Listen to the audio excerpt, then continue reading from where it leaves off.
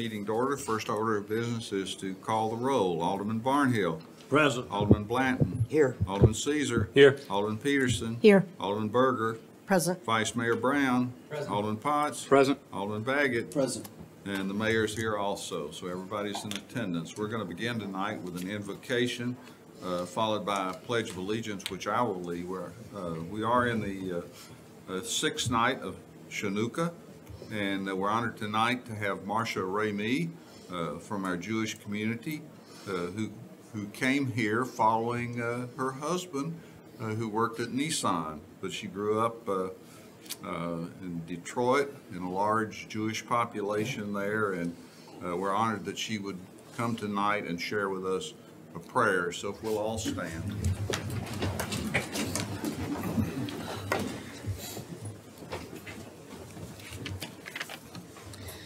Our God and God of our ancestors, we ask your blessings for our city, for its government, leaders, and first responders, and for all who exercise just and rightful authority.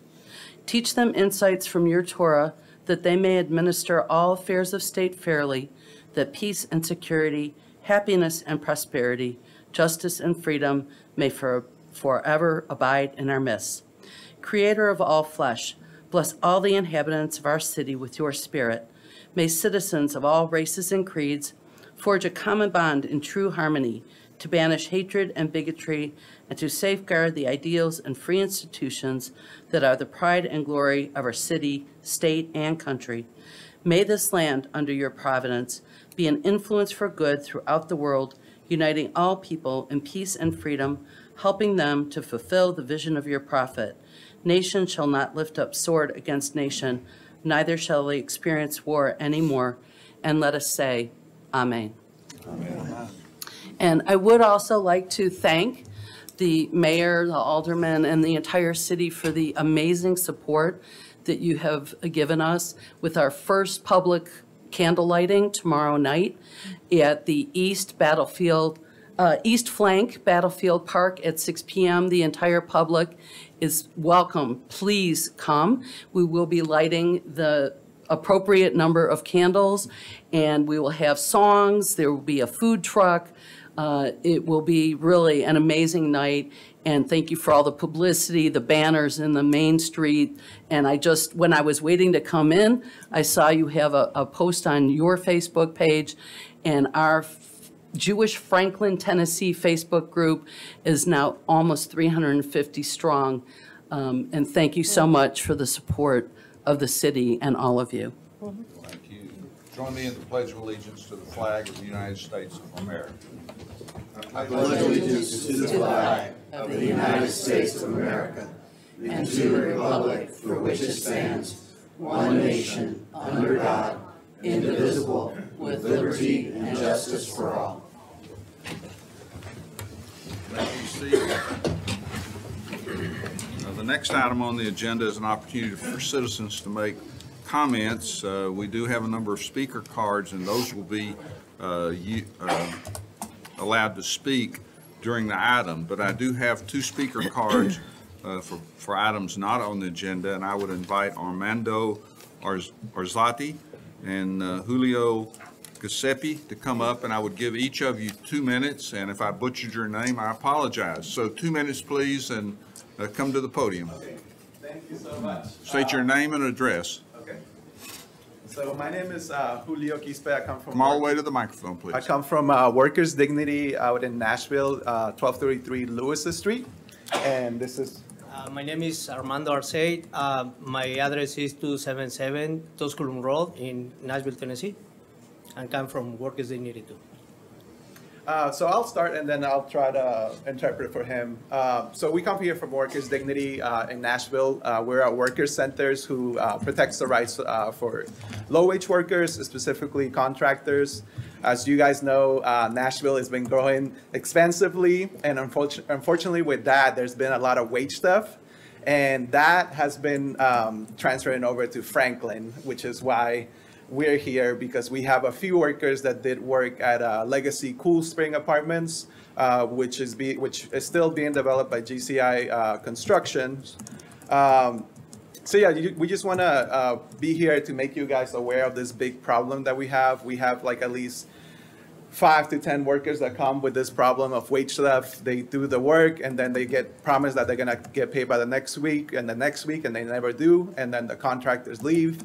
And unfortunately, they just don't uh, have the means to get a lawyer to protect them for this or to get their uh, wages back, which is that's why they come to us and we, um, uh, they become members, and then we are able to uh, build a campaign around them where they can uh, recover their wages. Um, And I'll just let Armando share a little bit more. I'm sorry, we're gonna speak in Spanish and he Come, gonna come to the mic. I'm gonna speak in Spanish, but he gonna translate. Um, de hecho, hemos hecho varias acciones en Legacy Apartments, pero hemos sido no escuchados y a la vez también nos hemos sentido agredidos porque nos cerraron una, una de las calles principales. Uh, So we've been doing a couple of uh, actions out there and outside of Legacy Apartments in the public area, and we've been um, assaulted there by uh, a few people there that they blocked off the roads. Ah, nosotros creemos que es una calle pública y ellos asumieron que es una calle privada y nos sentimos amenazados por ello porque no tienen derecho a encerrarnos ninguna calle si solo lo que estamos haciendo es procurar que les paguen a estos ah, compañeros de Workers Dignity. Yeah, so what we believe we're not doing anything wrong because we're in public area and they blocked off the, the, the public roads and we felt uh, threatened by them.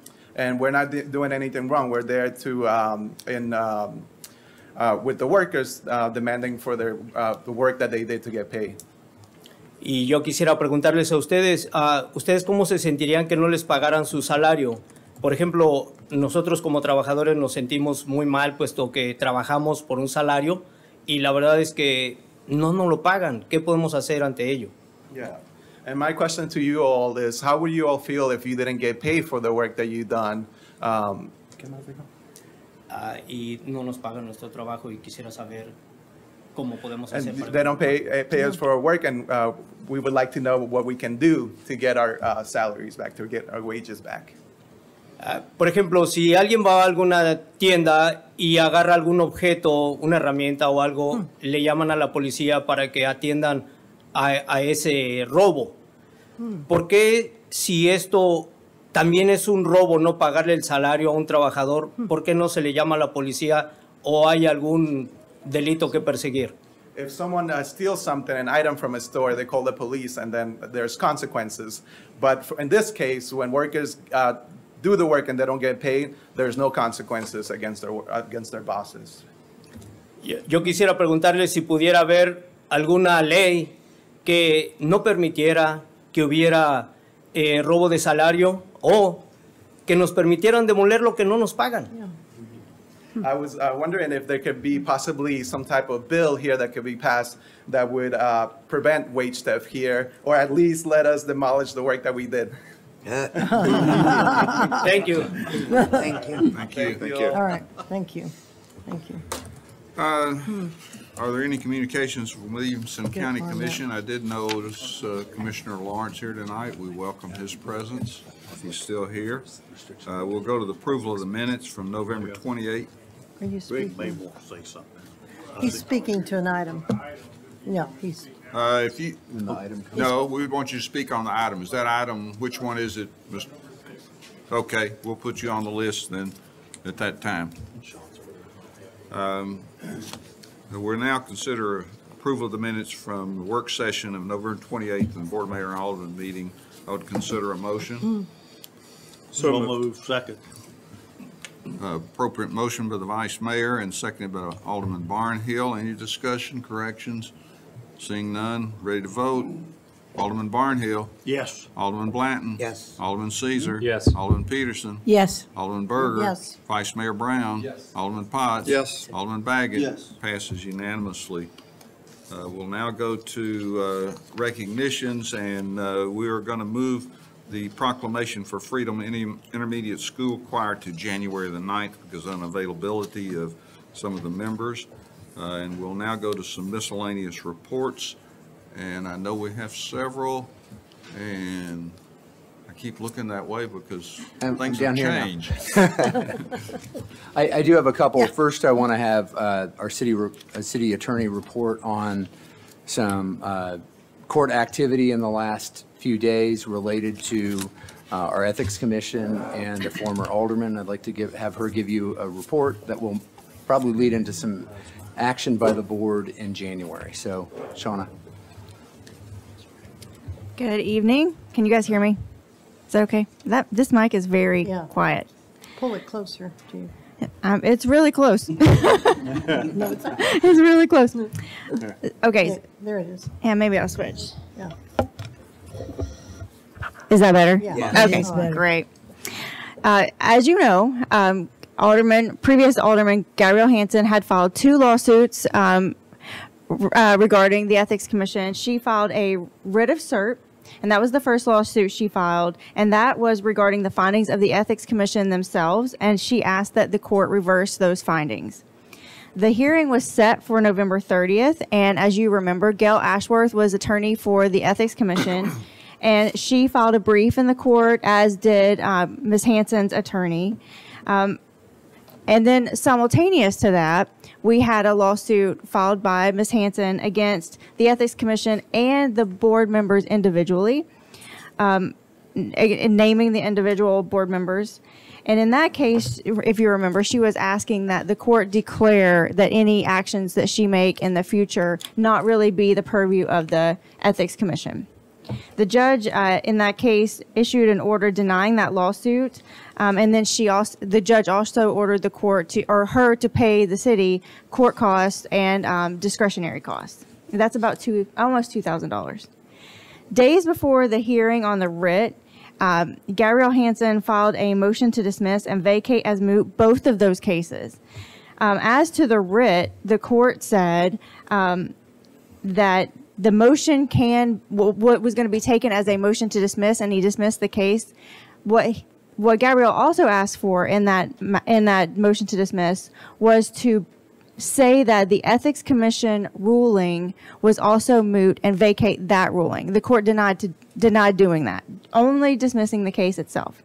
As to the other case, the court denied the motion to dismiss, saying that when he made the order, he, he issued the order, she was still a sitting alderman, and the case was not moot when he issued the order. So what that means is the Ethics Commission ruling, as made by them, stands. The normal process for you would be to put that item on an agenda and have you act. Well, we can't do that now because we know that um, non officials are not allowed to be censured by this board. But you do have to take some sort of action because they do have a recommendation. So, what we're going to ask you to do is just acknowledge the um, ethics commission ruling. Um, it has to come up here. I mean, their their recommendation was to bring it to you. It is it is moot in the sense that we can't do anything about it. Um, but we do want to put it on and acknowledge it. And I think that's kind of important because the the whole purpose of that com- that process was complaints filed by citizens, and this was their only way and method to be heard. So just to add to that, we- we would plan to bring something to you on January 9th to both acknowledge that report, but affirm the actions of the Eth- Ethics Commission. They did their job, and uh, I think it's a s- an important step for you to acknowledge that, move that forward. That is the path through which citizens express a concern about the actions of their elected leaders. There's no other path. So we want to affirm that that was followed, that was done properly, due to the timing of the legal process that this individual availed themselves of, it could not ha- happen in the time they were in office. That is what it is. But that process still stands. That committee, commission still did their job. And so we want to provide you the opportunity to affirm that, and uh, that will be on January 9th. We got this finding just at the end of last week, did not have time to place it on this agenda or would be on this agenda. But we've got to have proper notice for any actions that you take, and uh, that first opportunity will be January 9th. Is there any action that's required tonight to have that added to Nope. the agenda? No, Excellent. we will just add it, just like a normal item. So you are fine on that, on that stand. Thank you. Any other questions on that? I do have two more things I want to cover, so. Please continue. All right. Well, on a lighter note, I want to thank our city team. Uh, They have delivered the holiday joy the last few weeks when you look at it. Yes. We had an incredible tree lighting, record attendance. Uh, I, I, we're still trying to figure out exactly how many people were here, but I would say at least 15,000 enjoyed good. the opportunity to light that tree and celebrate uh, bringing in the, the holiday season together. Uh, And, and that was a beautiful thing. Christmas parade on that Saturday. And even though weather was a little difficult this past weekend, but Dickens of of a Christmas happened, uh, again, I think for the nearly 40th time uh, in its history. And so our city team played a critical, critical role in helping that happen and want to publicly thank them. Uh, I do want to do another acknowledgement we have a beginning and an end happening tonight, and I want to acknowledge it, and I'll try to hold it together. Hannah? She likes to be back there, but this is her last meeting. Hannah Lampola, who's the executive assistant for myself and for the mayor, will be leaving us. She is moving away. She's pursuing uh, additional education. She's going to pursue mechanical engineering. She's heading up to northern Michigan in the middle of winter. We're not sure why, but we know we know why because Hannah has uh, has some great dreams and and, and future visions that she wants to achieve. But she has been a great member of our team. It's only been two years, but she's had uh, great impact. Her uh, her sweet spirit, her dedication, Yeah. and uh, we just appreciate that very very much. So we wish you the very best as you move forward. And, uh, you know, don't be a stranger. We, we love you and we want to see you uh, flourish in this next chapter of life. So thank you for everything you've done for us, for me especially, for the mayor, and for our whole team. Uh, and then we get to welcome our new executive assistant right next to Hannah back there in the, uh, in the back row, uh, Kaylin Helton. Kaylin joins us, just started this week. She's shadowing Hannah to learn, this past week, to uh, learn more elements of the job and will, uh, will do a great job. She comes from uh, private sector experience as an executive assistant, uh, also served in her past as a flight attendant and played volleyball at the University of Tennessee. So she has a great and interesting background and will be a welcome, welcome addition. I knew the Vols would like that, had to put that one out there. Uh, And so we're just, uh, we will miss Hannah greatly, but we know we've also filled that role with a talented, capable, dedicated person Yeah. too. So uh, we wish them both the very, very best in these next chapters and thank you, thank you very much.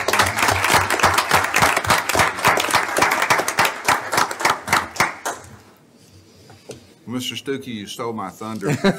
Uh, I've depended greatly on Hannah for the last two years and uh, have uh, enjoyed the time that I've been able to work with her and uh, just wish her the best of luck. And thank you, Hannah, for all you've done to keep my schedule straight and keep me straight, both sometimes difficult, so thank you.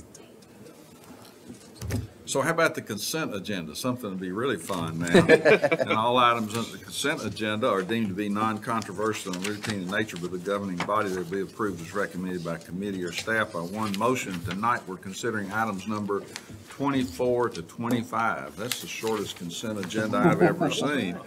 Uh, But is there a motion? Thank you, Alderman Blanton. Is there a Second. second? Seconded by Alderman Potts. Any discussion? Ready to vote? Alderman Barnhill. Yes.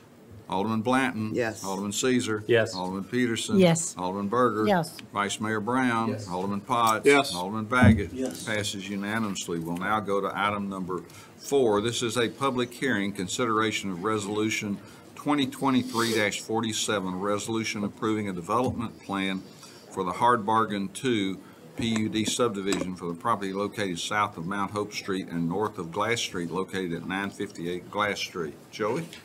Thank you. Uh, This uh, development plan proposes two new single-family residential lots. Uh, Envision Franklin places this property in the compact residential design concept. Uh, The proposed development plan is consistent with recommendations of the uh, compact residential design concept. Um, A develop- development plan is required due to Lot 2 uh, not being able to meet the minimum front line, lot line requirements uh, for the R6 district. Um, The applicant uh, can request reduction in the amount of frontage on a road for the front uh, lot line through a PUD. And the other standards proposed for this development are in keeping with the established surrounding neighborhood. Uh, So staff recommends approval of Resolution 2023-47 with conditions. Happy to answer any questions. Thank you. Uh, Does anyone want to speak to this body publicly during the public hearing? I do see uh, the Executive Director uh, here, but seeing none, I'll close the public hearing and ask for a motion. Thank you, Vice Mayor. Second by Second. Alderman Potts. Any discussion? Mr. Rick? Mayor, uh, I, I do have uh, something I would like to read. Sure, go ahead, Thank you. So for those that have joined us in person or are watching from home, here are a few things to remember about the, uh, about Hard Bargain and why, ton- why tonight's vote is so important. Hard Bargain's mission is to continue to preserve the historic Hard Bargain neighborhood that was developed 130 years ago. Hard Bargain works with current residents of the neighborhood to restore, rebuild, and maintain the homes within the community. This PUD that we are voting on tonight will bring two single-family homes back to the Hard Bargain neighborhood. Both of these homes will be deed restricted and sold for $275,000. This well below the market rate, which is currently $950,000 in Franklin. These hard bargain homes will allow hmm. low to moderate income families to access turnkey equity overnight. And these homes are designed by the same architect that designed the award-winning Bungalow Court that was featured in Southern Living magazine. I'd also like to take a moment to thank all the public and private partners, the City of Franklin team members, Kathleen, Sauseda, the Housing Development Coordinator, and members of the Housing Commission that have been involved in this journey to get us to tonight. In addition, I'd like to share that at last night's Housing Commission's meeting, Tom Levowitz was elected to serve as a Housing Commissioner Chair and Kim Randall as Vice Chair. And we're excited for this leadership and this opportunity as we move forward and explore new funding resources for both hard bargain and future opportunities. Thank you.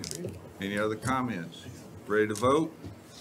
Alderman Barnhill. Yes. Alderman Blanton. Yes. Alderman Caesar. Yes. Alderman Petersen. Yes. Alderman Burger. Yes. Vice Mayor Brown. Yes. Alderman Potts. Yes. Alderman Baggett. Yes. Passes unanimously. Item five is ordinance 2023-23 to rezone 0.29 acres from residential R six district to Plan PD six point oh six district on 0.29 acres for property located nine fifty-eight Glass Street, Hard Bargain PUD subdivision. Is there a motion?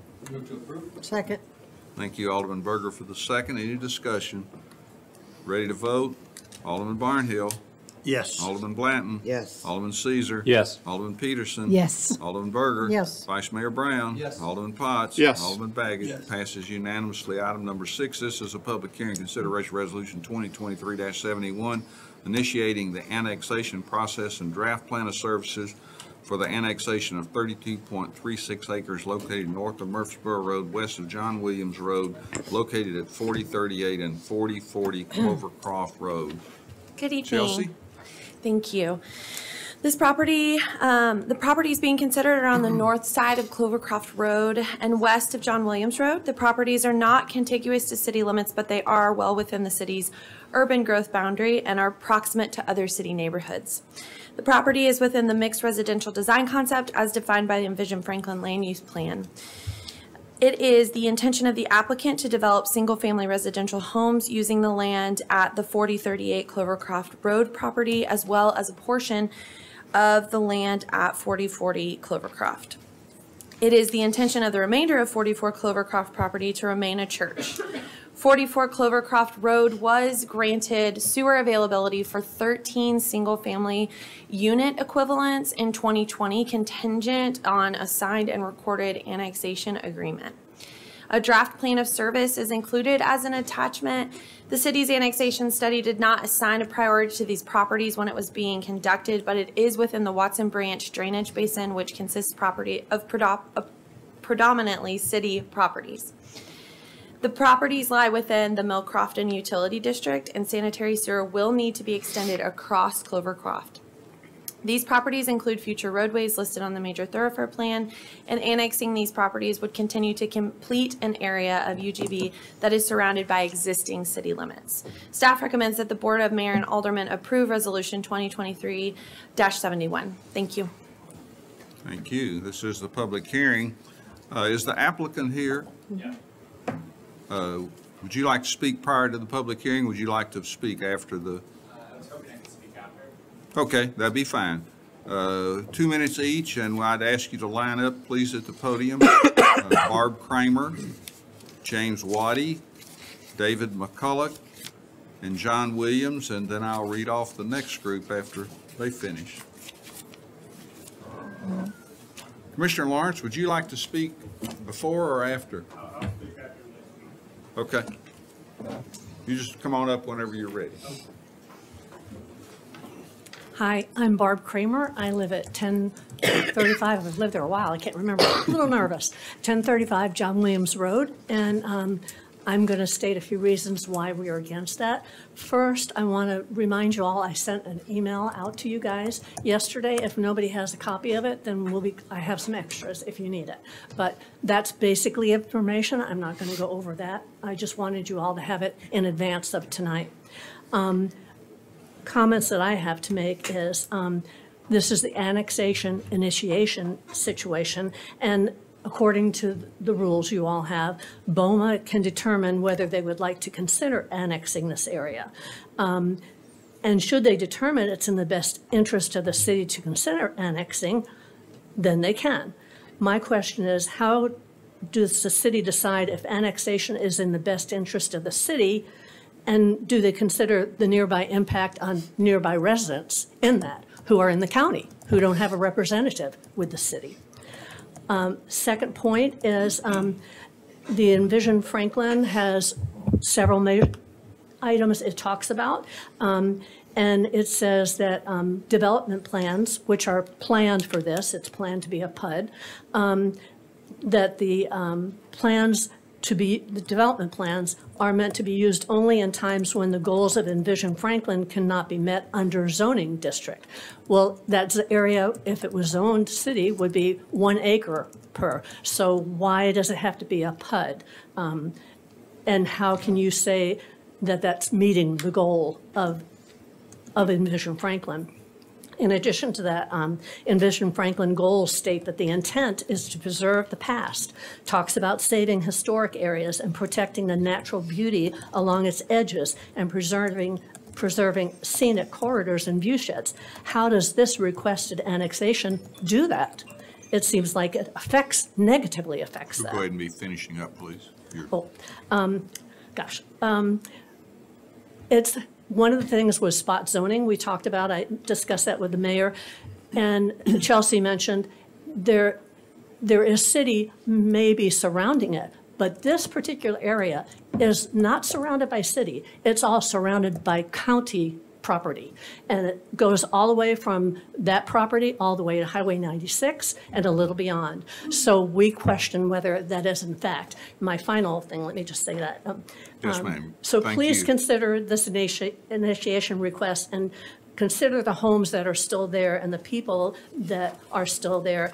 We understand he has a right to do what he wants with his Yes, ma'am. property. Thank you. Okay, thank you so much. We ask you to deny Thank the you, initiation. Thank you.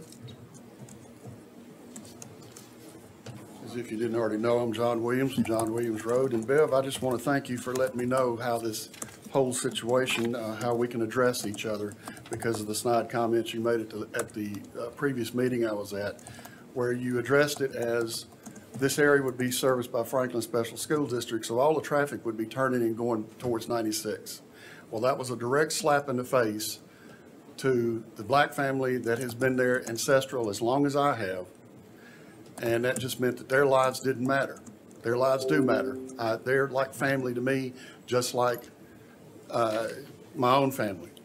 And that property is, at 17 acres, is, an, is uh, home to a, I hate to call it home, a cemetery that uh, has World War I veteran, a uh, Vietnam veteran by the name of Carruthers. That name ought to mean something because of the placard that's on the bridge.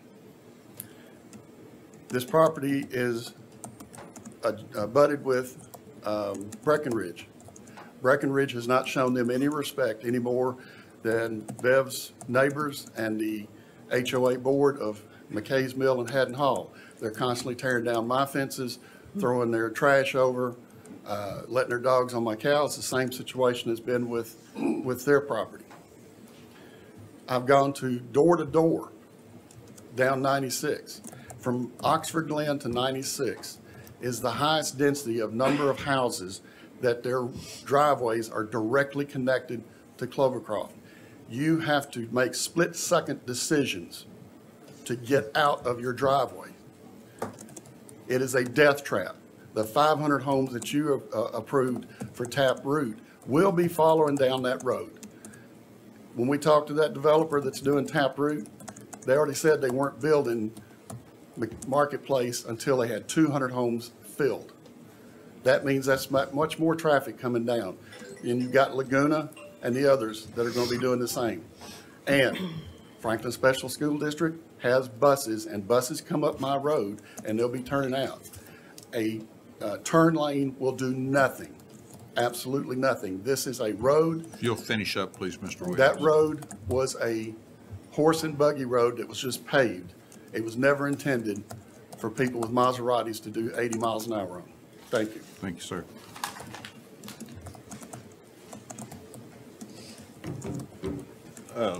So my name is uh, James Waddy. I am a direct uh, descendant of the W.J. Boyd property that Mr. Williams was just mentioning. It is 17 acres. Um, It has been in my family since 1885. I'll say that again, 1885. Um, My family has maintained that property. Um, I am here to speak on behalf of these wonderful ladies right here, specifically my mother. Her and her six siblings are uh, the current direct heirs and descendants of owning uh, the 17 acres. And they brought me here to tell you, we are strongly opposed to any annexation. It does nothing for us, as Mr. Williams has uh, just spoken to. We have years of uh, neighbors from the Breckenridge side, along with other sides that, uh, since the property, I guess, doesn't look like some of the million-dollar neighborhoods, the five, six hundred thousand dollar homes beside it, they seem they can uh, come over, uh, build gazebos, cut down fences, hunt, leave uh, slaughtered deers on the property, and my aunts call me to come clean it up. You know, I have a daughter, I have a farm in uh, West Thompson Station, Burwood area, if you're familiar. I could be spending time, you know, building uh, my family, building my leg- legacy, and instead I have to come deal with problems because people don't respect uh, the property, respect people who humbly live their lives, you know, and keep things humble. Um, again, we do not want the annexation. Um, my aunts, again, driving in and out of their driveway, have been hit, almost hit numerous times up and down Clovercroft Road. More traffic to it does nothing but increase those chances. So I just want to say again, we strongly oppose the annexation. And I will be here speaking to it, to you all, and anybody else I need to talk to, to let them know that we strongly oppose it. Thank you, sir.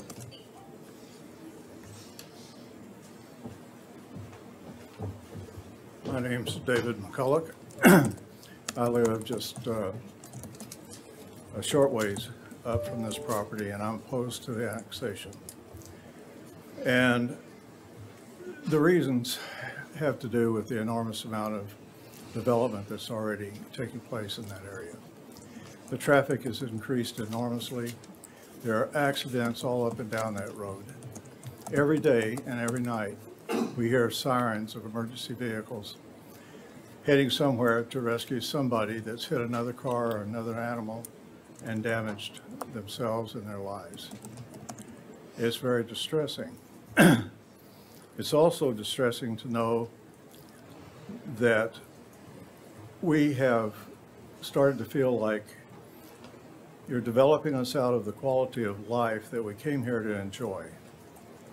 And it's not reflective of the Tennessee values that we bought when we moved here. We want people to enjoy their lives here. It's a wonderful place to live. But the development just is rampant in that it's making things so congested. It doesn't feel like it is the wonderful community that, that we've grown to love. Uh, We're becoming concrete. We don't want people to lose the beauty and the green and the values they came here to enjoy. We hope you will protect the heart and the hearth of Franklin by not annexing this property. Thank you. Commissioner Lawrence, welcome. Good evening, Mayor, Alderman Greg Lawrence, County Commissioner in the Fourth District. As always, I want to start by thanking all of you for your service and the very valuable time that you give to our community. And also want to extend to you the warmest of holiday wishes from the County Commission tonight. I want to just focus on one aspect of this property, and that is the annexation request. I do, it does appear that this is a spot annexation, which may be legal under Tennessee law uh, and it- within your purview to annex the property if you want to, but that's not a precedent that we would prefer that you set from the county perspective. And the reason is, for the reasons that we've talked about many times in the past, because of the, the pressure that puts on the infrastructure around that property that is not in the city that has to be maintained by the county. Clovercroft Road is a road that we've talked about numerous times. I've been here probably three or four times talking about the road. It's a very substandard road. Uh, That hasn't changed. The, as, as been mentioned tonight, there's going to be a lot more traffic on that road when the 500 homes get developed and 50 more across the street from that within the next few years. And I, know we've had discussions about what the county can bring to the table, and our issue is simply money. And we, we, um, we have a lot of infrastructure projects in the unincorporated areas that are in dire need of upgrades that we, we are, are giving priority to because uh, we, we view these projects within the urban growth boundaries of the municipalities as areas where if the cities are going to develop within those areas, that they should be, they should be responsible for the infrastructure that needs to be in place to support the development. And we simply don't have the resources to, to, uh, to, to fund any, any significant upgrades to Clovercroft Road. So it's, it's not going to be a priority for us. And so tho- those are the things that I just wanted to bring to your attention tonight that, that I hope you will consider when you're making your decisions. I I understand this is a preliminary vote, but just to put it out there what our position is. Thank you. Thank you, Commissioner. Uh, Eric Wolf and then John Clark.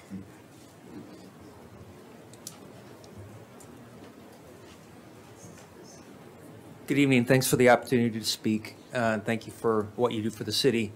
My name is Eric Woolley. Uh, I lived in, I've lived in Franklin now for seven years and uh, am an- on the Board of Elders at Franklin Christian Church, which is the church that owns 4040 Clovercroft. Um, We have appreciated working with the city since we moved in within the last, a little more than a year, just had our one-year celebration. And on the Board of Elders, obviously, we, we want to make sure that the church property is, uh, is, is a, is a place that continues to be a place to glorify God. And uh, we've really appreciated in speaking with Hank uh, and seeing his plans and feel strongly that uh, even if we go ahead with the annexation, uh, as, and I know that you've already, as, as was mentioned before with the sewer that we had put in, uh, it's an option for you. Um, We feel strongly that it will be, it will maintain its beauty uh, at the top of the hill there.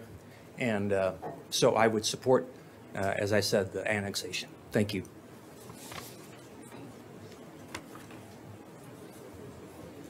Good evening, Board. My name is John Clark. I'm a, a member of Franklin Christian Church and uh, on the Board of Elders there as well. And I was involved seven years ago when we bought this land from uh, John Sonia, and we had an option to buy the land that Hank is looking at today. And it was our desire then, we came before you guys to, to be part of the city. And uh, as Eric just spoke, that uh, we were able to reach an agreement to, that you guys gave a sewer and, and uh, in return for an option to annex us at, at any time. And, uh, and we are, we are in favor of Franklin Christian Church of this annexation. Uh, We believe it gives us a great opportunity for uh, further development of our property along with uh, a co-development with Hank. And so I would like to, to represent uh, myself and Franklin Christian Church that we are in favor of the annexation. Thank you. Thank you, sir.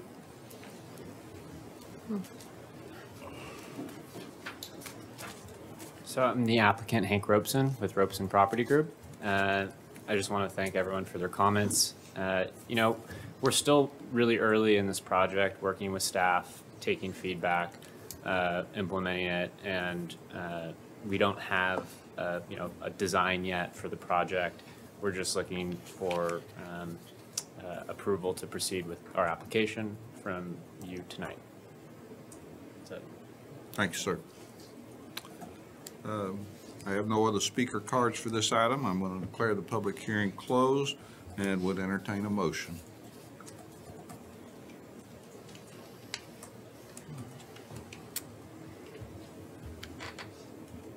Oh, Uh, go ahead, go ahead. Motion to approve. Um, I'll second it for discussion.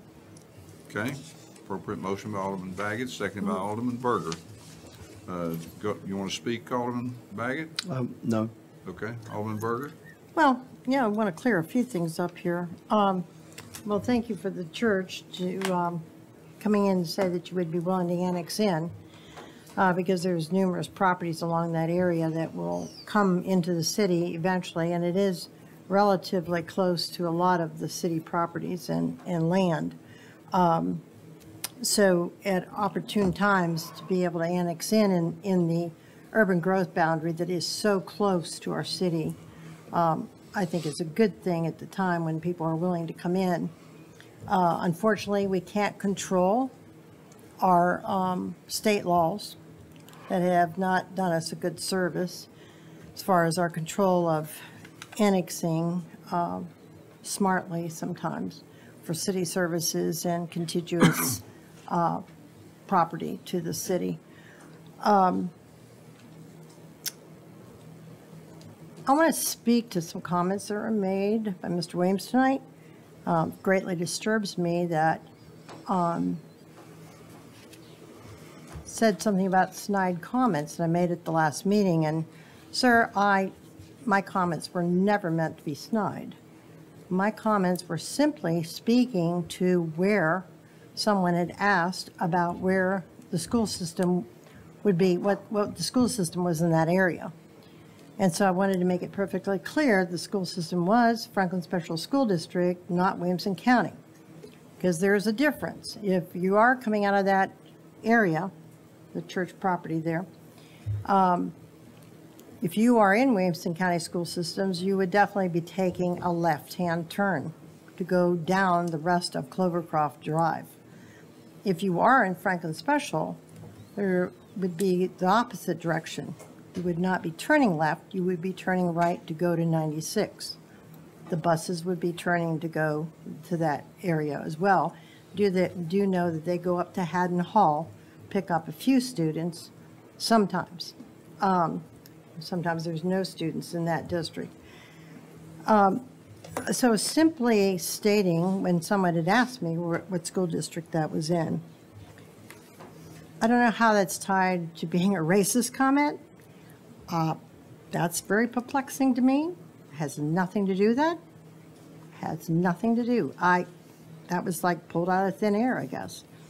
But um, the other thing about the fencing and everything else that's going on there, I don't control that HOA. I'm a city alderman. I have no authority over HOAs. I do believe that there was a legal ru- ruling by attorneys on the ownership of that fence. So, with that said, I'm disappointed that this county, and Greg and I are very good friends, and sometimes we have to agree to disagree. And I always respect Commissioner Lawrence, great respect for, for you. Um, But it's very disappointing that the county is not willing to look at their portion of the road. That road cannot be improved unless it's a joint effort. So no matter what development happens on that road, or what doesn't happen on that road, that road has to be improved. But there are spots in that road, there's some curves in that road, and there's lack of shoulders in a lot of different places in that road. We've had a meeting, the county and the city sat down together, and we were to look at this as a joint project. Not going to put a four-lane road in there. We're not going to redo the entire road. But there are safety issues on that road that need to be improved. A lot of that is further down east from the entrance of your church. Um, The better part of that road is actually from your church to 96. Um, Substandard, yeah, Greg, it is a substandard road in, in many ways, in many areas. Um, But money is not always the issue. To me, safety has got to be an issue as well. And I think the city and the county need to go together. We need to find the money. We need to make our spot improvements. We need to take out a few curves. We need to put on some um, shoulders where it's appropriate, where it's needed, so we protect people from growing off the road. Um, If you don't, the county doesn't have the resources, I mean, who does?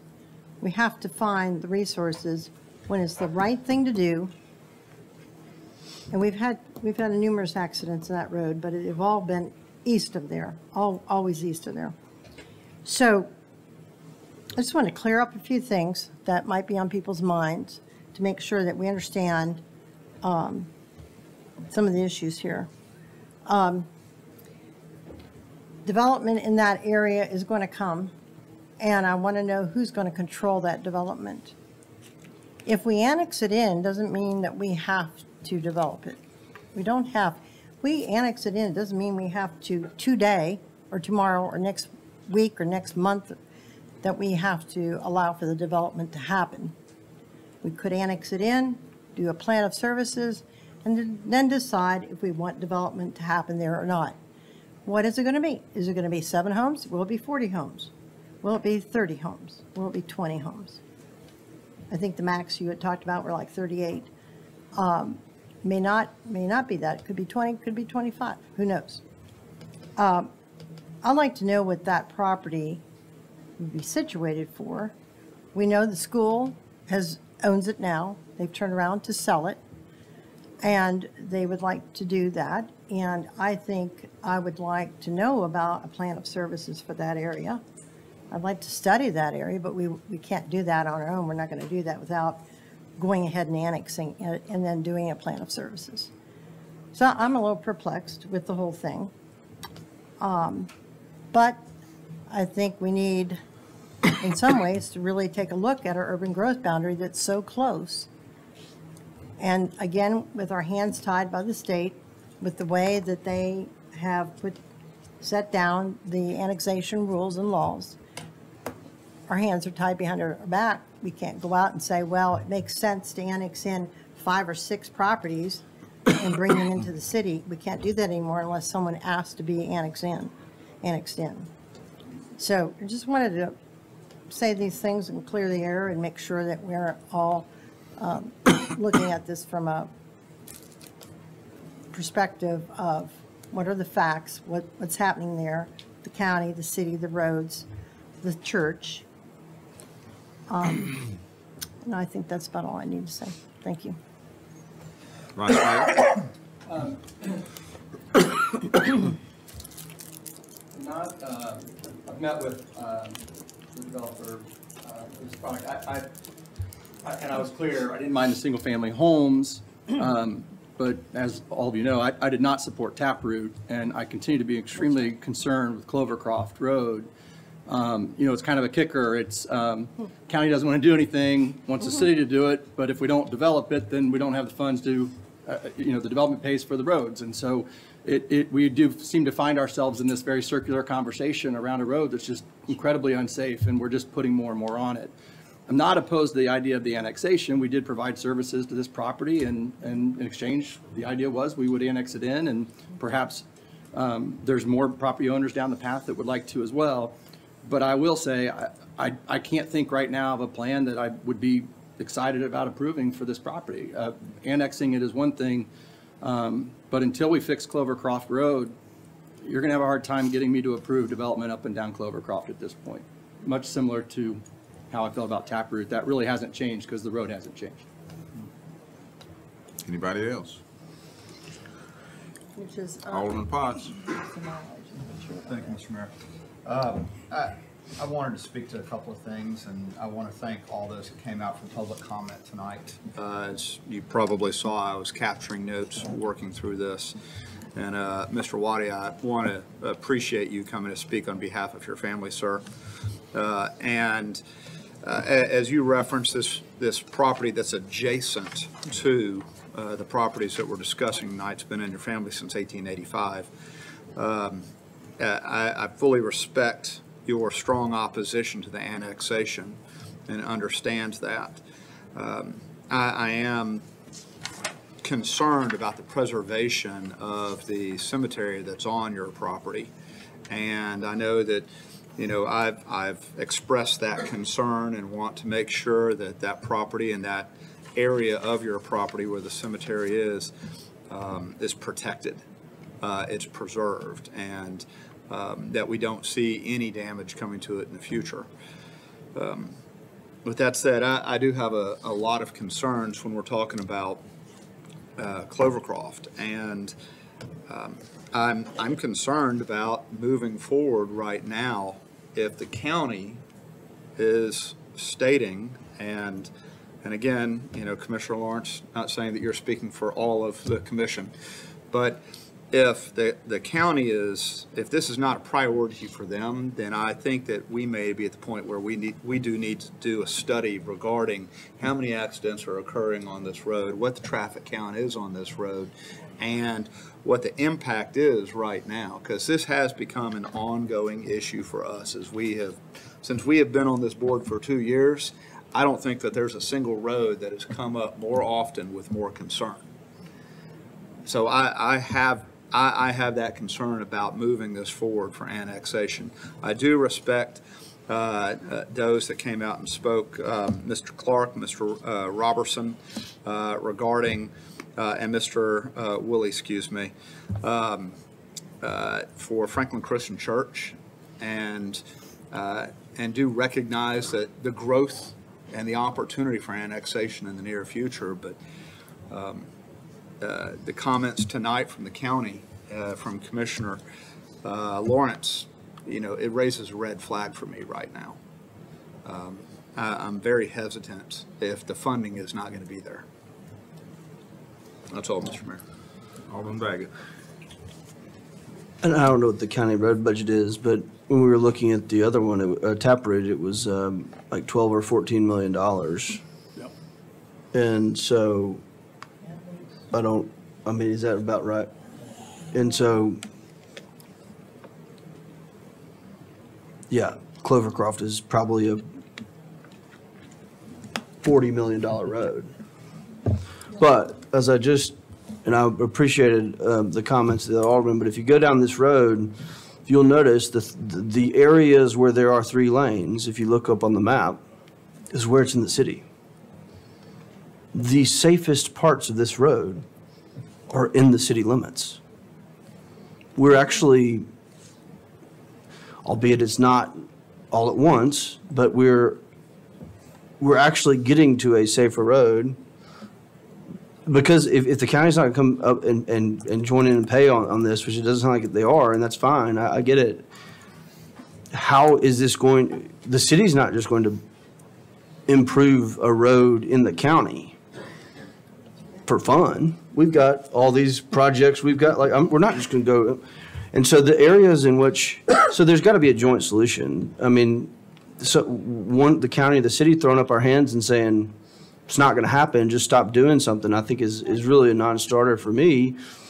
When the road is safest in the city limits on this, on this, on the, on Clovercroft, and maybe that's the way it gets improved, maybe, I mean, improved to, to get to where the price is right for a county to participate. And I do think they want to, I really do. I think that's a desire. I understand the financial, you know, constraints that are on the county that, and the city has um, similar ones, but in different ways. So the road, I get it, but I guess you're just gonna not do anything out here, and that's fine too, I guess, but it's just interesting to me that the safest parts of Clovercroft Road are in the, are in the city limits because there has been smart development. And I would object, uh, there, the turn lane will help the safety of that intersection. It will, no doubt. And quite frankly, if you bring a development plan, you know, our staff needs to really, I mean, that's, I would expect that that section for sure in front of this parcel would need to be improved. Um, If that's the way we're gonna do this. If the county's not gonna step up, then you, one chunk at a time. And that's gonna be part of the development re- requirements, if that can happen. Um, Maybe that's how this has to happen. Um, I, I don't like throwing in the towel and saying we got a problem we can't solve, and so we're just gonna do nothing. Um, I don't like a dangerous road, but last time Paul ran the numbers, it was at or below the state accident level. At. So we've gotta do something. So until the county steps up with us and we get a, get a good plan, it doesn't really sound like there is one. Um, anyway, those are my comments about the road. I, I do think that it's, um, services are there, they're coming by. Um, Sewer's there. This is not going to remain a rural, this is not one of the areas that was to remain rural forever in, the- in our, in our Envision Franklin. Um, so I would, I would support it, the annexation. Now, there's a whole nother step that, of development plan that has, there are a lot of specifics to go, but I, I would allow that to move forward tonight. Um, just based off of that. Uh, w- And you could bring something, if you, tr- if you're trying to pack 10 pounds of sand in a six-pound bag here, you know, you're wasting your time. Um, But I would, I would support the annexation. Anybody else? Initiation of the process. Initiation of the process. I apologize. Um, We do have the traffic study, by the way, and the accident reports. We presented that when we met with the county. Um, We've done that study, um, presented it at that meeting. Um, Clovercroft um, will never be a $40 million road because it will probably never be in the next 25 to 35 years ever a four-lane road. Now, after that time, I don't know about that, and then it will be five times that much. But um, the plans are not to make it a four-lane road. The plans were, in that meeting, that intent in that meeting, the intent of that meeting was to improve overall the safety of that road, putting on some shoulders, taking out a few curves. And you're right, the safest part of that road is in the city. We've improved some things. Uh, I will say, though, with one exception, between the church property and 96, you've got a pretty safe road there. It's, it's pretty flat, the shoulders, it, it doesn't really drop off.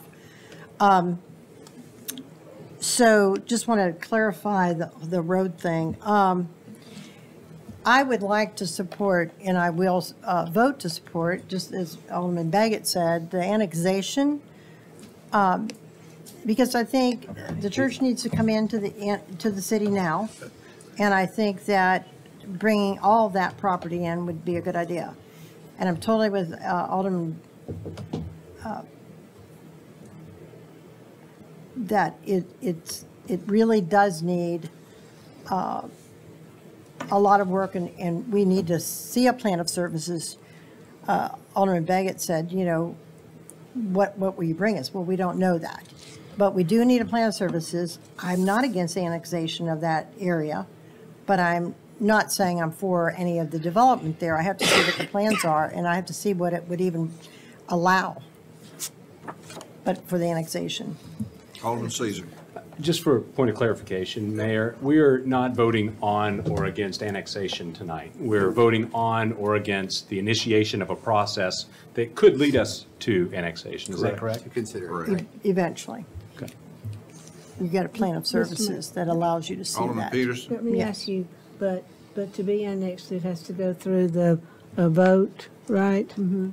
Yes. By- This is by just, the- uh, the- Initiate the plan of services for the property I and then later annex. says- Excuse me, I mean, to be annexed though into the city, the, do the homeowner, I mean, do the property owners have to vote on it at an election? No, because they're requesting The it. property owner has requested it. Yeah. They can request it directly. If it's multiple property owners or areas that are outside of the urban growth boundary, they use the referendum uh, method. But in this case, it's a direct request from a property owner that is in your urban growth boundary.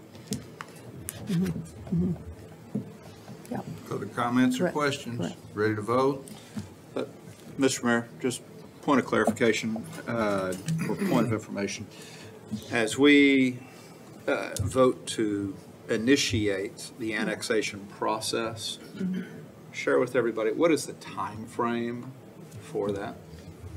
If we move forward tonight, what would that look like and Plan of what would it services. entail? Well, uh, staff has to do additional work, and, and the, the applicant's going to do some work as well to talk about how this would be served, what those obligations look like in terms of roadway improvements, water and sewer uh, capabilities, how it would, how it would develop. And so staff produces a draft plan of services that basically describes if you brought it into the city, how would that work? And how would we deliver city services to this site? Uh, That is a factor or something you use in making the decision whether to approve the requested annexation. Um, I don't know if there's an exact time frame. What would you all, I want to be fair. Well, I mean, it's really, it's really up to the developer about how quickly they want to move from step one to step two. If they need to do some more research about what they want to bring forward, there's really no timeline as to when they need to, when they want to submit the application for annexation. So I can't tell you how quickly they'll come back. Once they start the annexation process, though, it's typically that two-month process for staff to review it, create these documents for you to vote on, and it would go to planning commission first, and then it would come before you in the typical resolution ordinance manners of the, the readings. An applicant can also request a zoning, like PD or something else. If they don't request a zoning, they'll be given a state residential or ag. And the state residential is one per acre. A state residential is two. a- Two. Two, two. One per One for two? two Two acres. acres per lot. Thank you. Yeah. Okay. Big, big lots, two acre Right. lots. So it could be that. Yeah. And with that process, there's a public hearing at Planning Commission when they review and make their recommendation. Mhm. Correct. And then you also have three readings and a public hearing Mhm. associated with any action you Yeah. take Like the relative bigger lots. to annexation. Yeah. So this is the start of a much longer process. Correct. That- that You are just deciding, is it worth doing that additional work on staff's end as well as uh, on the the applicant's side? So, so getting the plan of services would bring us and the applicant both uh, information they would need to proceed. And then they decide, and you, you bring to us whether, well, state residential would be one, or two, two, two acres. We'll bring you at least three items, and they'll be on the same agendas. We'll bring you the plan of service to be voted on. You have a draft plan of service in your agendas tonight. That's sort of our first take at it, based on the high-level land uses that they want. We'll finalize that. That's the first step of, if you annex, this is how the property's served. Then you would vote on an annexation to bring it into the city or not. Then you would vote on a zoning. If the applicant requests the zoning, that's what we would bring you forward. And it would be yours to determine whether you approve the zoning or not.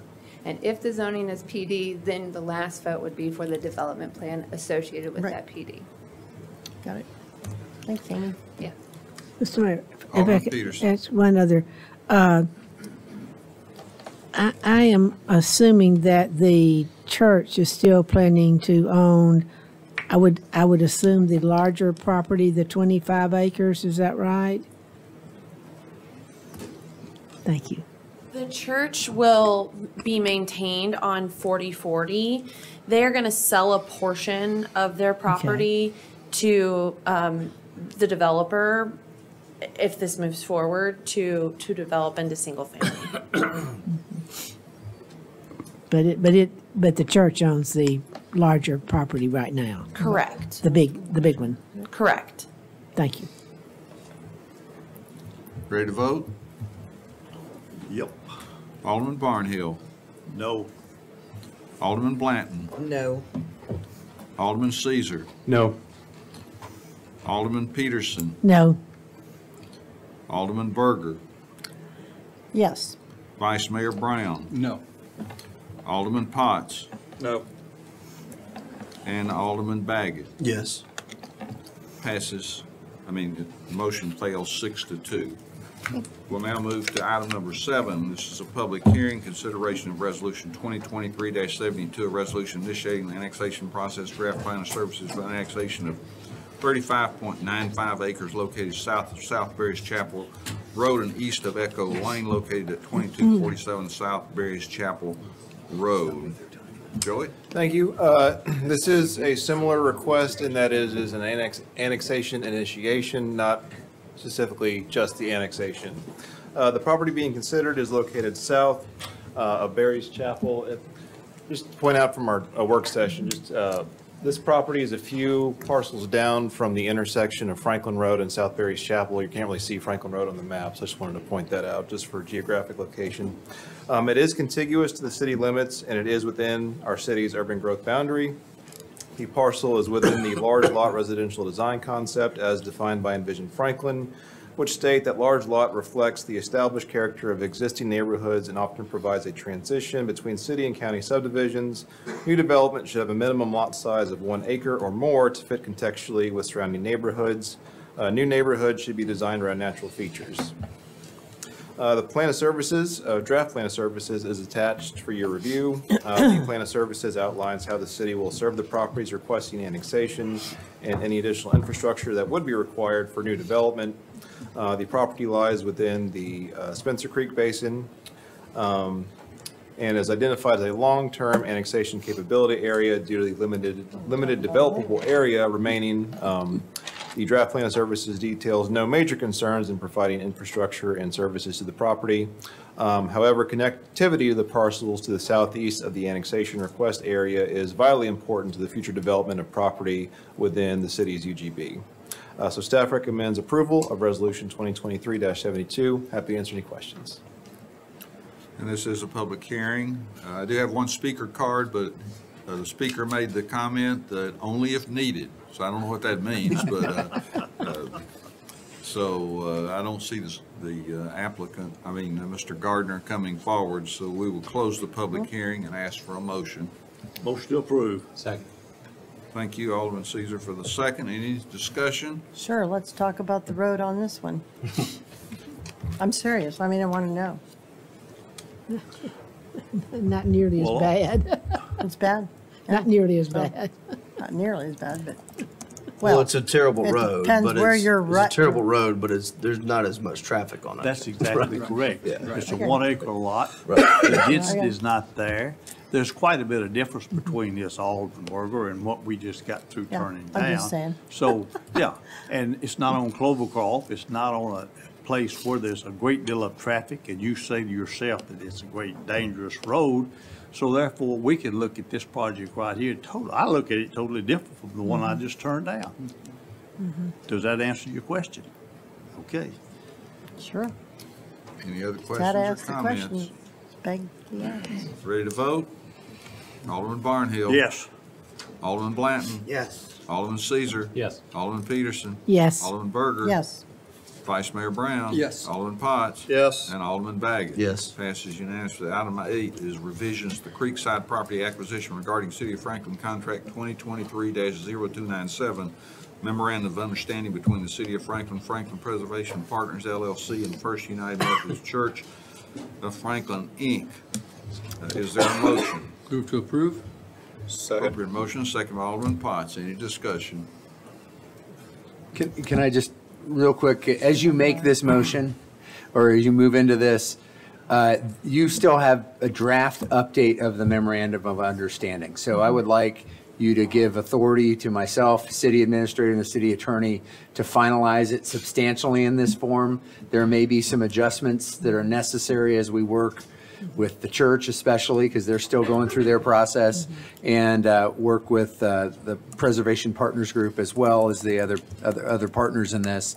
Um, I, I think we are, are largely there, but there may be some tweaks. So if that is made with that general authority, that it's substantially in this form, just why we're bringing this one back to you now, because some changes came our way, uh, that, that, that that would be part of the, of the motion. I do want to hit on two points that are a little different than what we talked about two weeks ago, just to be clear. The Phase One purchase would stand alone. So I think we got that direction in our discussion two weeks ago, but this is, that's the way this is written. That's uh, the properties that are located on the east side. Um, I think it was five and six on the map, if we had the map up, but that's five or six, five and six there. Uh, it, uh, Also considered track two by the language in the, in the, um, in the agreement. So that happens regardless of what the church decides to do on the land swap in phase two. We are also adding a little different structure to the payment. Uh, There's approximately just under $2.2 million remaining for the purchase of those properties on the east side. And we'd like to split that into two pieces, a million dollars before the end of December, and then the balance, approximately 1.19 million, would be paid at closing. And that closing cannot happen until we've platted out the home property, homestead property that will be sold separately, privately, uh, by Preservation Partners. And then, of course, as we talked about two weeks ago, Phase Two would involve the city purchasing the 13, approximately 13 acres located at the um, southwest corner. Uh, That, that would then be swapped by the city with First, uh, Franklin First United Methodist for approximately 33 acres called the racetrack property. Um, And that would take place between now and the end of March. So church has to go through their, their process for decision-making as a congregation. We respect that, but um, those are the key elements. And again, the city's acquiring around 75, 76 acres of parkland, open space land, should this all come to fruition, for about, for $7 million. So that's about $92,000 an acre for uh, additional open space to add to to Harlinsdale and then along the Franklin Road corridor. I'd ask the vice mayor if he would modify his motion to accommodate Mr. Stuckey and, and our city attorney to uh, be able to uh, work on some of the tweaking of the agreement, as he said. Would that second still be intact if that, if vice mayor agreed? Yes, sir. Yes, sir. Okay, any discussion? Ready to vote? Alderman Barnhill. Yes. Alderman Blanton. Yes. Alderman Caesar. Yes. Alderman Petersen. Yes. Alderman Burger. Yes. Vice Mayor Brown. Yes. Alderman Potts. Yes. Alderman Baggett passes Yes. unanimously. Oh, Did I go too fast? That's all right. He got- he got Did it you know what I was gonna do? I could How did tell you- that it was a yes. Yes. You have to be like Let me that ask you quick. again. How do you vote, Mr. Baggett? Well, I vote yes. You have now made it a unanimous vote. Two yeses. You have to be quick with him. What are you talking about? Item nine is uh, ordinance twenty twenty-three Unbelievable. forty to amend the budget of the city of Franklin for FY 2023-24. establish a public hearing on January the 9th, twenty twenty-four. Is there a motion? So moved. Second. And uh, thank you, Alderman Petersen, second by Alderman Burger. Any discussion? Ready to vote? We'll start with you, Alderman Baggett. Yes. Yeah. Alderman uh, Potts. Yes. Vice Mayor Brown. Yes. Alderman Burger. Yes. Alderman Petersen. Yes. Alderman Caesar. Yes. Alderman Blanton. Yes. Alderman Barnhill. Yes. Passes unanimously. Item ten is Resolution twenty twenty-three seventy-eight. A Resolution of the Board of Mayor and Alderman for the City of Franklin adopting budget goals for FY twenty-four, twenty-five.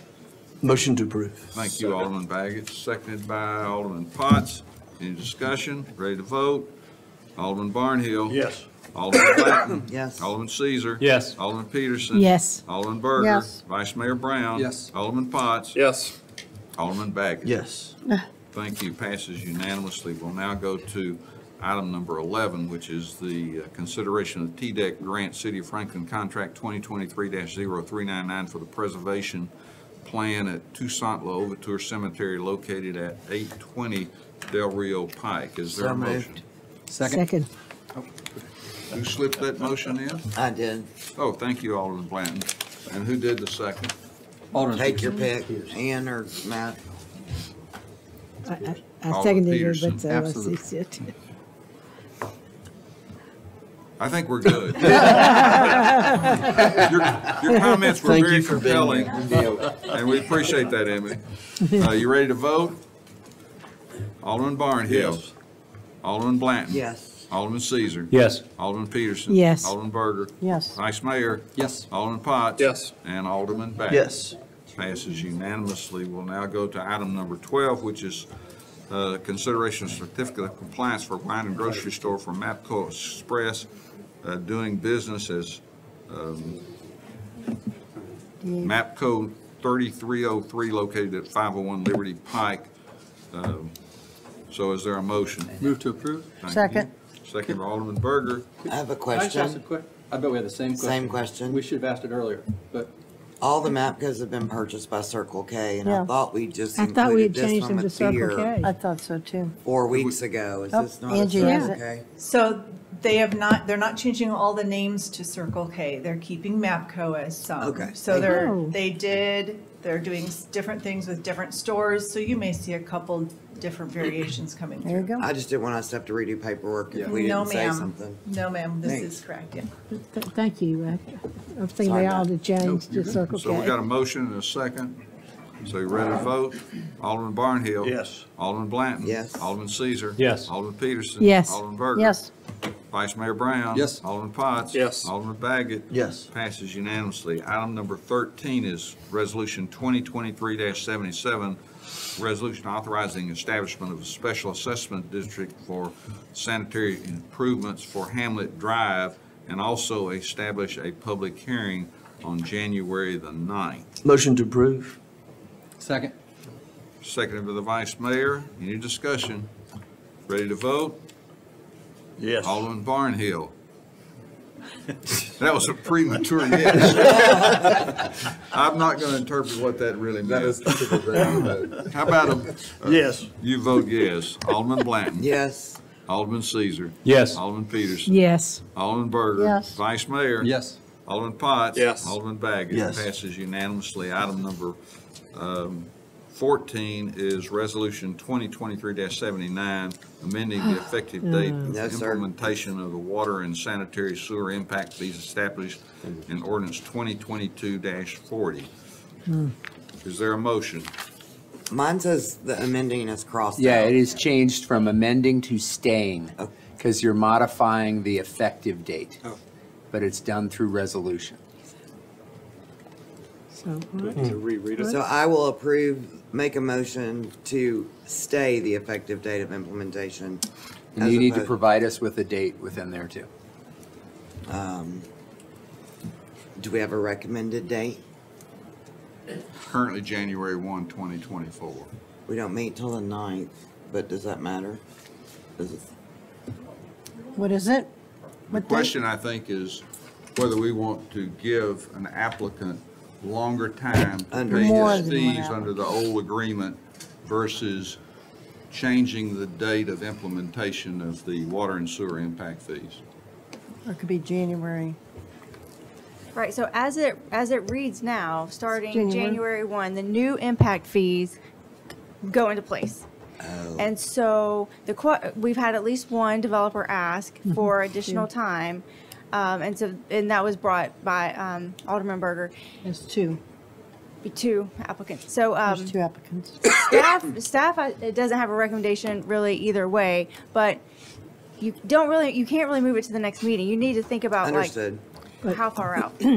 Could we do it to the so, end of January? so are you saying that January we 30th? could amend the day to say, you know, June the 1st, or is that what you're saying? Lord. You can pick a date, January or you can 30th. stay with the date you have. How about, let's say, February 1, 2024? Second that. Did you get a second to that? All right, I'll second that. Not I'll yet. second it. I'll second it. Open for discussion.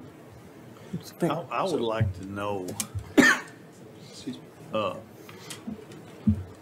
what if we're not interested in extending the date? Does it go, is it, does? 30 vote no? days. You vote no. Vote no. And then Sounds Just good. vote no? anybody that votes no stays January 1. That sounds good. 30 days. All right, may I speak? Uh, Alderman So I'm go gonna ahead. speak. Re- uh, The reason I supported Randy's is, um, there's a couple people involved in this, whether they need it or not. And, you know, I'm thinking to myself, at the end of January, it's fine. Still keeps it in January, but February 1st is one day over that, so I'm good with that. And it doesn't really rock the boat, so I will support that. I, I believe that if I remember correctly, that our city administrator said, said something to the effect that this was a dangerous precedent that we were starting, and that if we do one we have no basis for not doing the next one, in my interpretation. And we have no basis for not doing the next one and the next one. So I think this is a dangerous precedent myself personally to put this thing off and give one applicant that's come before I us think they need it. and ask for some. And, and the, and, and I understand they've had some difficulty in property rights and uh, acquiring right of ways and first one thing and another, but I'm not gonna, I'm not gonna delay this just because, just to open up a can of worms on somebody that's coming up in February who can't make the March number or whatever it is that we're looking at putting on this. Vice Mayor? Yeah, I- uh, it seems like we made a whole lot of concessions and had a lot of great discussion about percentages that we were going to apply. We, we pushed that date to January 1 from a- what was an earlier application. You know, 30 days doesn't seem like a lot, but it also doesn't seem like a lot. So like, what are you really giving somebody at 30 days? If- If you couldn't do it, right, if you couldn't do it before, you're probably not going to do it now. Like, I feel like, I, I I do agree Hmm. with you, Alderman um, Barnhill, that I feel like we're, we're just going to keep kicking this thing. And, and there will be others that ask. Um, We gave a grand, uh, sort of a graduated play. That was already sort of a, a gift, or if you will, or a, or a concession, if you will, I should say it that way. Um, I, I- I don't see a need to keep kicking these dates down the road, so. You're not gonna hurt my feelings. I understand. Alderman Potts? Thanks. Thank you, sir. Uh, Just to confirm, uh, Mr. Stuckey, that's fair summary of what uh, was provided just a moment ago, correct? What, what, what I said, or what I will say to you is, when you pick any deadline, you're gonna have somebody who's gonna run up against it and have a cha, have a challenge with it. That's just the nature of deadlines. You provided, um, close to a year lead time for this, uh, on a topic we've been talking about two and a half years prior to that, in some form or another. So there's been a lot of lead time. This is an impact fee that relates to investments you have already made the water plant upgrades and the wastewater plant uh, expansion and upgrades that are, are pretty much online, completely online now and is just finishing up. So it's not like it's something you won't incur for sometimes you've already incurred it. So uh, I offered the date as the best solution because they're talking about vesting and those kind of things, which is a moving target that varies by development. So I did make the suggestion to Alderman Burger to pick a date. If you're going to do it, just pick a date and move the deadline if you want to give people a little more time. So I, I, I offered that as a, as a place, but I also qualified it by saying, whatever date you pick, you're going to have somebody who's running up against it and can't meet it for whatever reason. Um, and so that's, you're going to have that whatever date you pick. So ba- based off of that, sorry. There you go. back in. Uh, Thank you for the clarification. I, I, I think I do, I previously agreed and going to agree again tonight. This is a slippery slope when we start moving this date. And this isn't about one particular individual or developer or anything like That's that. right. This is about setting uh, a precedence. And I am concerned that if we, if we move the finish line of when we're putting this into place, that it could definitely come back and bite us in the backside. Well, well, it doesn't mean that we would have to do it again. No, exactly. Mr. Mayor? Go ahead, Alderman Um, Two things. One, um, I'm not thinking about a single person or situation here. So if you do that, if you're thinking outside of a single situation, there are the people that could come down to the deadline and who might go past, and so we want to move it to help them. But if you're not thinking about individual, there, there could also be people who extended extreme effort and funds, someone who pay, who maybe spent more money to get it done before the deadline, to meet the deadline. And so you have these like, you have these situations where the deadline, someone could have extended themselves financially and otherwise to meet a deadline. And you have these that go after. I think it's just fundamentally fair to keep it the same. I, I, I hate it. I hate it for the situation. Second thing is this, is that we did hear about the individual developments issue with the uh, proposed fee and that causing issues with their financing and whatnot. This was just the first phase of the water impact fee. I'll just leave it at that. Mr. Mayor, could I say one other thing? Absolutely, Uh, Alderman Petersen. I guess because this has seemed like such a, an unusual uh, fall and going to the first of the year, this, this, this last month or two or three has been crazy. So maybe that's the reason that I'm feeling I could, I could allow someone be, uh, to have an, uh, more, more time because there were some things that, you know, over, between Thanksgiving and Christmas and everything, there's just so much else going on and including, uh, you know, work that the staff has to do and everything that, that, as I say, but maybe it's just that I'm feeling this particular year has been so, so strange that, that I, I, I- I'm pushing to get things done in, in December this year. So, but, but I, but I do understand, and I, I- You wanted to and say- I don't think that means that we have to do it ever again. Uh, That's uh, right. Along those same lines, though, those dates are always there all year long. So it's, it's interesting that we're in this conversation. I say let's call the question. and Call the get question. closer I to asked to speak up before you called the question. I asked to speak. Really? speak. I did. She did. I did. Go The ahead. mayor was trying I was to trying get to me speak and. too, but you go Thank ahead you. first. My You all- apologies. Yep, that's fine. Uh, I just don't, You have to vote on That's what call the question means. yeah. Well. So, You have to vote on call the question. yeah, anyway. Okay, Now, we gotta I vote asked on to calling the speak, and He question. called How's- on me. She- yeah, but that's He, wrong. he had called on me. And then Jason spoke. Yeah, but she still called it, so you'll All right. vote, and then. We have to call the question. Go ahead. So, uh, we're voting on calling the question. Alderman Barnhill. Yes. Alderman Blanton. Yes, sir. Alderman Caesar. Yes. Alderman Petersen. Yes. Alderman Burger. No. Vice Mayor. Yes.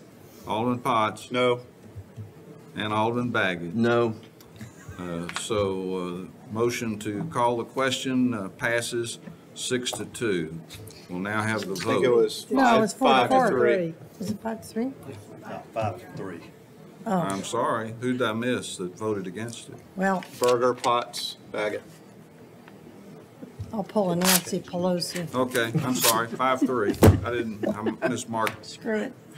Okay, so we're ready to vote um, on the original motion uh, to implement February 1, 2024. Okay. Is that correct? Yes, sir. Okay. Alderman Barnhill, No. Alderman Blanton, Yes. Alderman Caesar, No. Alderman Petersen, Yes. Alderman Burger, Yes. Alderman Brown, No. Alderman Potts. No. And Alderman Baggett. No. Uh, uh, The uh, motion fails five to three. We'll now go to item number 15, consideration of reappointment of Brian Laster to the Historic Zoning Commission. Brian's been serving uh, uh, for one term, I believe, and doing a great job, and I'd like to reappoint him and entertain a motion. I'm- Go ahead. You stole one of me. You can say. I'll second my neighbor. Okay, any discussion, ready to vote? Alderman Barnhill. Yes. Alderman Blanton. Yes. Alderman Caesar. Yes. Alderman Petersen. Yes. Alderman Burger. Yes. Vice Mayor Brown. Yes. Alderman Potts. Yes. Alderman Baggett. Yes. Passes unanimously. Uh, Next is a consideration of appointment to Bob Barrett to the Historic Zoning Commission. Move to Um, approve. Oh, I'm sorry, go um, ahead. I'm gonna be quiet. I'm gonna recognize you just a second. Let me just say how we got there. Yes, sir. Uh, We had about, uh, we had a large group of applicants, and I was able to uh, interview the applicants along with uh, Jim Roberts, who's the current chair, and along with staff. And um, it was a very difficult decision, but uh, we felt Bob Barrett was a very good selection. He lives in one of the historic overlays. He uh, uh, went to Omar College uh, and is very interested. In fact, he's so interested, he loves watching the uh, historic zoning meetings, and his enthusiasm actually has started bringing him to the meeting. So I would entertain a motion to approve Bob Barrett. So moved. Thank you. Seconded by Sure, I will second Alderman that. Blanton. Let's vote. Alderman Barnhill. Yes. Alderman Blanton. Yes. Alderman Caesar. Yes. Alderman Petersen. Yes. Alderman Burger. Vice Mayor. Yes. Oops, I missed Alderman Burger. I said yes. Okay, thank you. Vice Mayor Brown? Yes. Alderman Potts? Yes. Alderman Baggett? Yes. Passes unanimously. We'll now go to consideration of reappointment of Scott Harrison and Jennifer Williamson uh, to the Franklin Municipal Planning Commission. Uh, These are reappointments, as I mentioned, so I'd entertain a motion. So moved. Thank you, Ann. Second. Uh, Thank you, Vice Mayor. Any discussion? Ready to vote? Vice Mayor, we're going to do this a little different. How do you vote? Yes. Sorry, you threw Alderman me off. Potts? Yes. Alderman Baggett? Yes. Alderman Barnhill? Yes. Alderman Blanton? Yes. Alderman Caesar? Yes. Alderman Petersen? Yes. Do I get a Alderman vote? Burger? Passes unanimously. No, no, yeah, yes. I'm Okay. fit- beginning to feel like Alderman Baggett. over. To wake you up, I'm going to tell you that we have a, uh, uh, an executive session after this. So item 18 is reappointment of Mike Cassidy to the Sustainability Commission. Move to approve. Thank you, Alderman Potts. Is there a second? Second. Thank you, Vice Mayor. Any discussion? Ready to vote? Alderman Barnhill? Yes. Alderman Blanton? Yes. Alderman Caesar? Yes. Alderman Petersen? Yes. Uh, Alderman Burger? Yes. Vice Mayor Brown? Yes. Alderman Potts? Yes. Alderman Baggett? Yes. Passes unanimously. Item 19 is appointment of Sean Iola, Ray Eldridge, and William R. Macon to the Civil War Historic Commission. Uh, Sean is with us tonight, um, and uh, he was part of a large group of uh, people that we interviewed, along with Rich Buckner, uh, who is the current chairman, and uh, Ray Eldridge is uh, a Civil War uh, buff and is the head of uh, business department at David Lipscomb. William Macon is a retired Mayo Clinic uh, physician uh, who has a long history of uh, interest in the Civil War and has a lot of uh, family history related to that. So I would uh, ask for your approval of those. Move to approve? Thank you. Is there a second? By Alderman Potts. Any question? Ready to vote? Alderman Barnhill. Yes. Alderman Blanton. Yes. Alderman Caesar. Yes. Alderman Petersen. Yes. Alderman Burger. Yes. Vice Mayor. Yes. Alderman Potts. Yes. Alderman Baggett. Yes. Passes unanimously. Uh, Tonight, we have Dorinda Smith, who hasn't gone to sleep yet. And, uh, That's a good quality for her, because uh, we're going to appoint her to the Board of Zoning Appeals uh, to fill an empty spot there, and uh, uh, she brings a strong financial background and a long, a strong analytical background uh, to this particular job, and I would look for, uh, Move to approve. So moved. Let him have it. very eager first-year alderman right Yeah. Who just- My gift to you. He's out of hand already. I will second, Mayor. Thank you, Vice Mayor. Any discussion? You ready to Good vote? golly molly. Alderman Barnhill. Yes. Alderman Blanton. Yes. Alderman Caesar. Yes. Alderman Yeah. Petersen. Yes. Yes. Alderman Burger. Yes. Hmm. Vice Mayor Brown. Yes. Alderman Potts. Yes. Alderman Baggett. Yes. Passes unanimously. And now we have appointment of Doris McMillan to the Franklin Transit Authority. Is there a motion? So move, my boo. Second. Thank you, Vice Mayor. Any discussion? Let's vote. Alderman Barnhill. Yes. Alderman Blanton. Yes. Alderman Caesar. Yes. Alderman Petersen. Yes. Alderman Burger. Yes. Vice Mayor. Yes. Alderman Potts. Yes. Alderman Baggett. Yes. Passes unanimously. We'll now go to item number 22, which is a reappointment of John Shore and Ashley Roberts to the Franklin Transit Authority. Is So there a moved. Thank you, Alderman Potts. Is there a second? Second. Thank you, Alderman Petersen. Ready to vote? Alderman Barnhill. Yes. Alderman Blanton. Yes. Alderman Caesar. Yes. Alderman Petersen. Yes. Alderman Burger. Yes. Vice Mayor Brown. Yes. Alderman Potts. Yes. Alderman Baggett. Yes. Passes unanimously. Next is a reappointment of Nan Zerdin and Ashley Roberts to the Franklin Public Arts Commission. Move for approval. Thank you. Second. Second by Alderman Caesar. Ready to vote? Alderman Barnhill. Yes. Excuse me. Alderman Blanton. Yes. Alderman Caesar. Yes. Alderman Petersen. Yes. Alderman Burger. Yes. Vice Mayor. Yes. Alderman Potts. Yes. Alderman Baggett. Yes. Passes unanimously. I need a motion to go into executive session. So moved. Is there a second? Second. All in favor, say aye. Aye.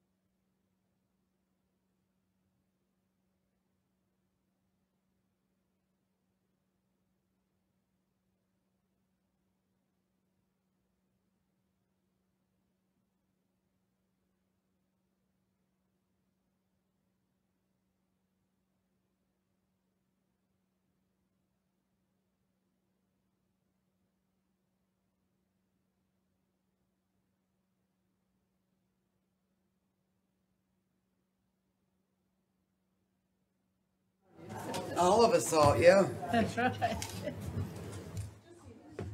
Mark, I've seen you four times. Oh, that's true. No. You know, he's old Nashville and If he were old Franklin, he would want that. Okay, where'd we lose everybody? They're back there discussing giving coal to They people. better not be discussing. That's right, they No, better not. They're discussing giving coal to people. Okay, go sit down, we're ready to That's move my on. idea. Oh. Oh, wait a minute, I forget, I'm, I'm sitting here, I'm, as you said, I'm in everybody's way. All these people are bugging me. Dig out there. You want to speak to an issue? Public comment is closed. Dude, we're trying. Sorry, Ryan. We're back from executive sessions. Are, are there any matters to be considered from the executive session? Yes. I would like to make a motion to allow the city administrator and city attorney to negotiate and execute a settlement agreement to settle outstanding issues with WIT Infrastructure South, specifically to reimburse the city for additional engineering and staff costs in the amount of eight hundred and fifty thousand dollars plus plus hundred thousand dollars for optimiz- optimization release, to release liquidated damages to quate, to close out the Franklin Water Reclamation Facility project with necessary forthcoming change orders. Is there a Second. second? Seconded, thank you, Alderman Blanton. Any discussion? Ready to vote? Alderman Barnhill. Yes. Alderman Blanton. Yes. Alderman Caesar. Yes. Alderman Petersen. Yes. Alderman Burger. No. Alderman Brown. No. Hmm. Alderman Potts. Yes. Alderman Baggett. No. Uh, the motion passes five to three. Is there any other I have a matter? motion, Mayor. Okay, I may. Alderman Blanton. I move that the city accept the counter offer made in the city of Franklin versus McCall, that being settlement in the amount of two hundred and seventy-one thousand, four hundred dollars, plus installation of the third sign option proposed by the defendant. This settlement would be contingent upon the sign receiving a certificate of appropriateness and following all applicable sign regulations when the sign is installed. Is there a second? Second. Thank you, Alderman Barnhill. Any discussion? I just would have one request about transferability of the sign approval. And I don't know if uh, Alderman Amendment. Blanton would entertain amending her motion or adding You the can lack amend. of transferability of this sign if the property ownership is transferred in the future. I'll amend it thus. No, wait, wait, wait, wait. That, that's, Wait, wait. that's, That can- Well, wait a minute. Shauna, can you, ex- I think, I I'll think you want to it make thus. an amendment to it. You want to make an Get 'em, amendment. The good I one. think you want to make an amendment. I think uh, what To keep Alderman it Caesar separate- asked was whether she would accept a friendly amendment, and she said yes, Oh. she would accept that amendment. Okay, No. if she, if that's, that's fine. If, if, if it doesn't pass because of the amendment added, Back on the- then we're, we'll have to start over. Yeah. Just vote But- on the amendment. No. But, um, if, it's up to you guys how you want to do it. You can either do an amendment. Yeah. And then we take that up, see if that passes, Mm-hmm. and, and then take up the motion as amended or not. I'll, I'd like to make an amendment Okay. to Alderman Br- uh, Blanton's motion to uh, include transferability of the, or t- to restrict transferability of the sign to if the property ownership is transferred in the future. It would go back to, It would go back to the existing sign ordinance. yes, Yeah. second. Appropriate motion second. Okay, any discussion on the amendment? Ready to vote? Alderman Barnhill. no. Alderman Blanton. Yes. Alderman Caesar. Yes. Alderman Petersen. No. Alderman Burger. Yes. Vice Mayor. Yes. Alderman Potts. Yes. And Alderman Baggett. Yes. Uh, The motion passes. Uh, The amendment is approved six to two. Uh, So we'll now go back to the original motion as amended. Are you ready to vote? I'd like to make one comment because this was the former Ward for and, and I think, I think it's important for us as aldermen to say uh, that while we respect the property owner's rights, that we do hope and would, would appreciate that, uh, that the, all the property owners, uh, when we do these kinds of projects, think about the community as a whole, what we're trying to do with the streetscape. And uh, if there is any kind of uh, uh, middle ground additional with the size uh, of the sign, that the property owner of their own volition would work with staff to try and have it fit the area. I think our citizens, if we did not speak up and say that we don't think the size is appropriate for uh, the new streetscape, um, while we- we're okay with some of the features that the sign has, uh, uh, that, that if, if they would just work maybe with, uh, of their own volition, uh, to, to, to more conform with our sign ordinance and be a, be a community uh, player and, and still have the signage and the, and the verbiage and the, and the, the uh, prominence that they want uh, so that it fits on that corridor, because we're really trying to do a lot on that corridor. So I say that respectfully to the property owner and, and those that might be listening, that we, we desire uh, something more conforming, but also understand uh, the desires of the property owner. Can- I, I need to, I want to make sure that we understand or I understand. The amendment isn't necessary, is it? I mean, if it, if it's, if it's a sign and the, and it comes down, and it's not put back up in thirty-six months, if the property owners change the property, all of this, that sign is not going to stay.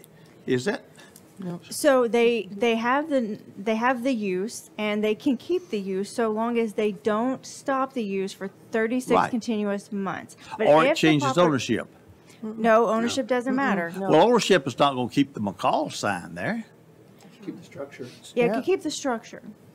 And so long as the structure changes, the words can change. Remember the wall trip sign? They took wall trip down and put the different logos in the inside of Yeah, it to keep could- the. You could do that. Yep. Sure can. Okay, no, we've Alright. already, we, we passed the amendment, the motion. Any other comments on the amended motion? Ready to vote? Alderman Barnhill. Yeah. Alderman Blanton. Yes. Alderman Caesar. Yes. Alderman Petersen. No. Alderman Burger. No. Al, Vice Mayor Brown. Yes. Uh, Alderman Potts. Yes. And Alderman Baggett. Yes. Uh, the motion passes as amended, six to two. Are there any other matters to come before this body? Seeing none, I entertain a motion to adjourn. Motion to adjourn. So moved. Alderman Burger, thanks for the motion, and Alderman, uh, Vice Mayor Brown seconded, and all in favor say aye. Merry Christmas. Merry Christmas.